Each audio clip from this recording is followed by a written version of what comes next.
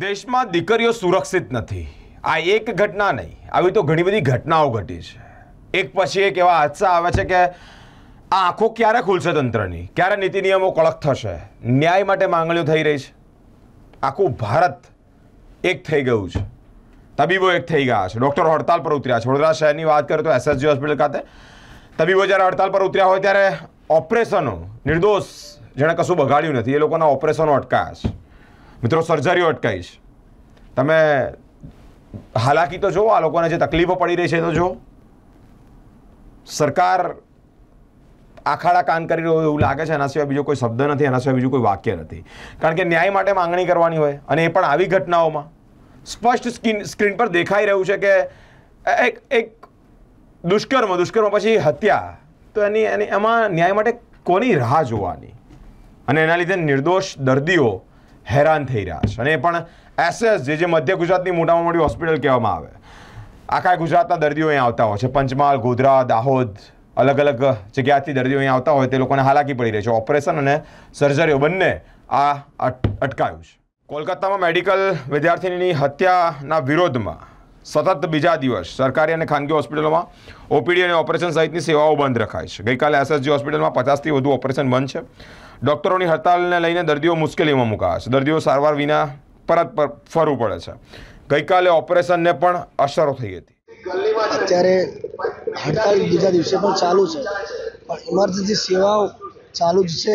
સાથે સાથે ઓપીડી પણ બંધ નથી.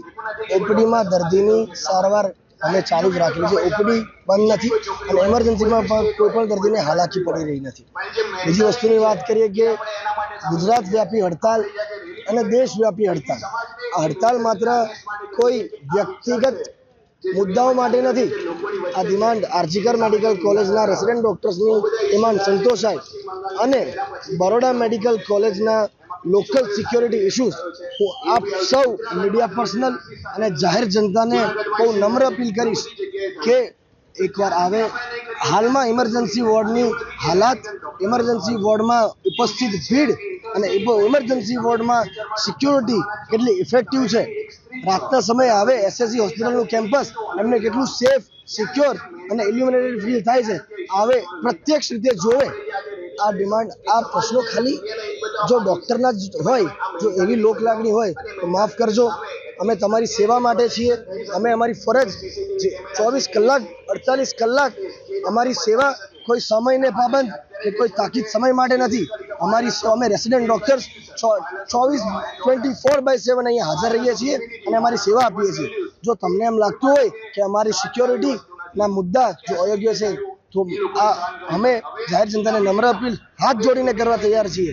કે આ મુદ્દાઓ ખાલી ડૉક્ટરના જ નહીં, જાહેર જનતાના પણ છે. એ સમજે, અમારી લાગણીઓને પણ માન આપે. બીજી વસ્તુ રહી કે સિક્યોરિટીના ઇસ્યુ મુદ્દે, હાલમાં પણ સિક્યોરિટીના જે પણ આસ્પેક્ટ સોલ્વ નથી થયા, એના માટે અમે ફરીથી કડક શબ્દોમાં અમારા સુપ્રિન્ટેન્ડન્ટ સાહેબ અને ડીન સાહેબને આજે ફરીથી અમારા શબ્દો અને અમારી માંગણીઓની રજૂઆત કરીશું. સાથે સાથે રોષ, ગુસ્સો અને સમર્થન આખા ગુજરાતમાં છે.